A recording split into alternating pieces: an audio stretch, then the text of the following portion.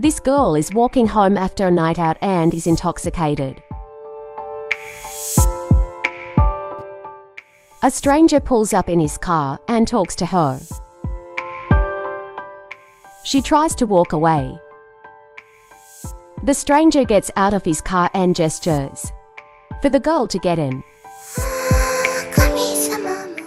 The man then walks around the car and attempts to get her into his car.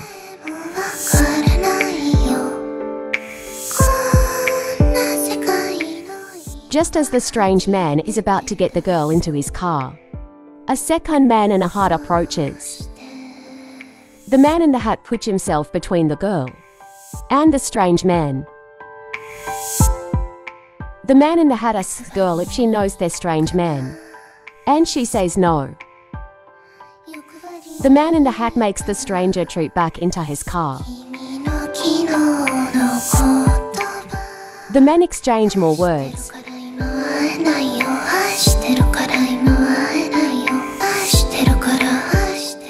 Finally, the stranger gets back into his vehicle. The strange man drifts off but threatens to turn. The man in the hat then tends to the girl. We hear tires screeching very loudly. He helps her to sit. He then goes to his car and retrieves something. The scary man drives by and yells that he's coming back. The man in the hat returns with a bottle of water. He asks her for her name, but she just smiles cautiously.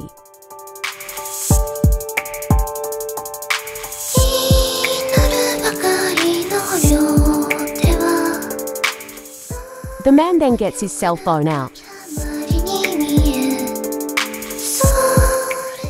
He asks her information to try and help her.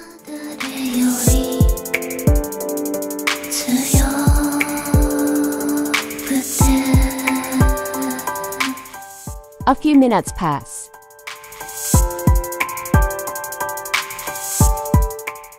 A car arrives. The man talks to the driver.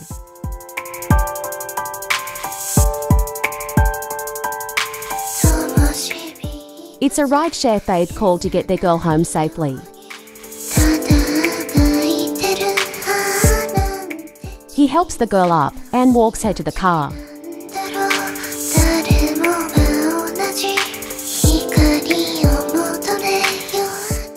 He gets the door for her and gives her his bottle of water.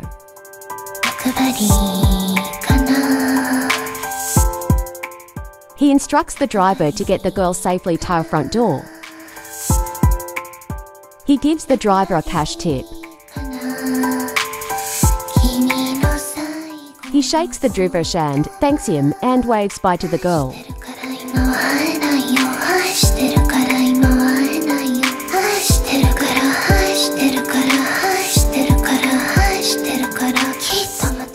If you're wondering, what happened to the girl and if she got them safe?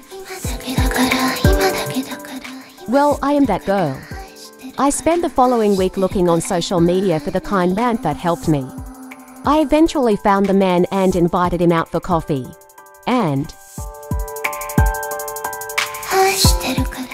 we've been together ever since.